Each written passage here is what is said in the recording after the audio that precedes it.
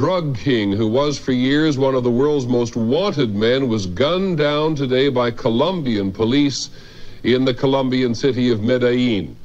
His drug cartel was named for the city he controlled for so long. He was only 44, old enough for cocaine to have made him one of the richest men in the world, rich and ruthless enough to have hundreds of people who got in his way killed, from people who ran drugs to people who ran the country.